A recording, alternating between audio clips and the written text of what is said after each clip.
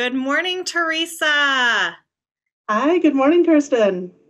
I'm so just incredibly happy to be with you here. Um, as our Wings Board of Directors president, you're kind of a big deal in our life in general and in the Wings Board life. And so we're super excited to talk to you today. Um, the power of all of this remote work means that I get to be in Colorado, you get to be in Minnesota. And so I wonder if you could tell us a little bit about why you got involved with Wings and why you care about Wings and um, what brought you to us. Absolutely, I'd love to. So, when I first learned about Wings about five or six years ago, what first drew me to the cause was the work that we do around empowering women and providing education when it comes to reproductive and sexual health. So that was the initial draw. There are so many things that we take for granted, many of us in the United States, of having access to that just aren't available to the communities we serve.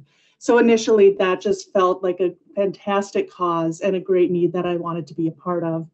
And I will say, as I learned more about the communities we serve and the realities in Guatemala, also grown to care deeply about some of the broader societal challenges that WINGS helps um, address.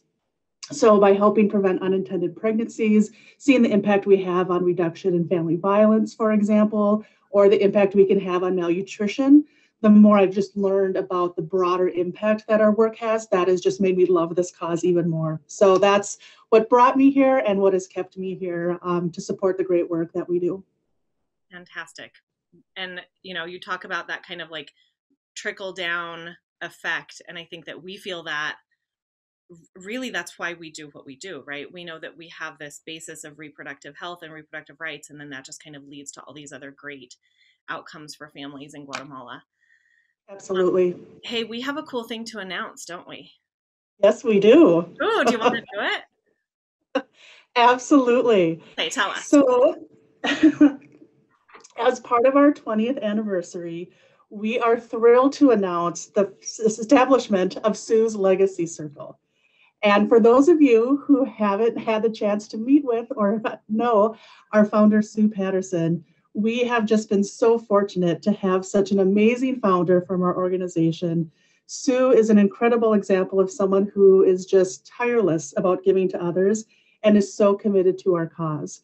So, as part of our 20th anniversary celebration, we wanted to establish a way for people to honor and celebrate Sue and her commitment and legacy through the organization. And so, we are establishing Sue's Legacy Circle and announcing that now. And that is a way for people to really help ensure that we can continue to do our fabulous work, not only now, but well into the future.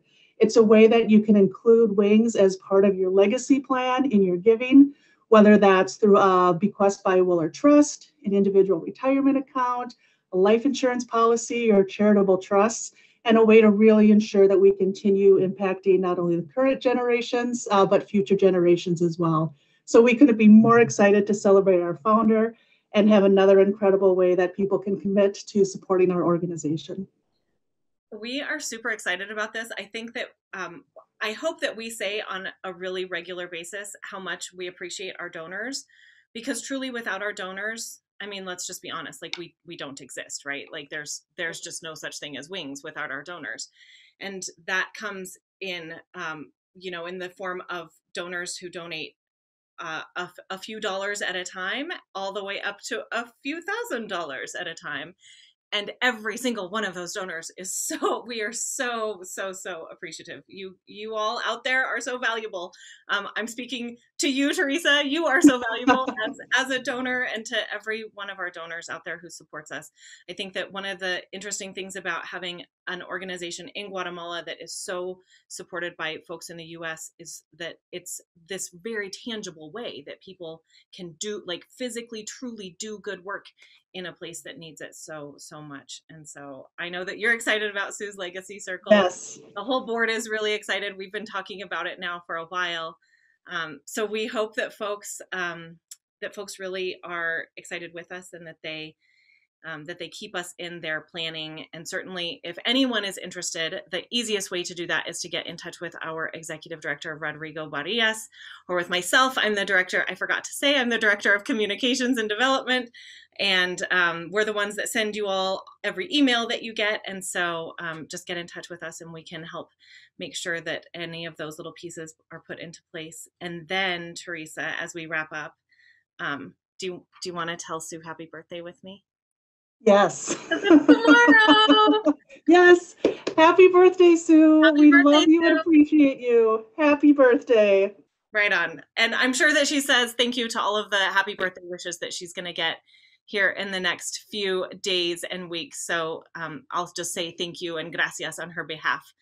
Um, Theresa, thank you so much for joining me, and um, and thank you. Just thank you for being you. Thank you for existing.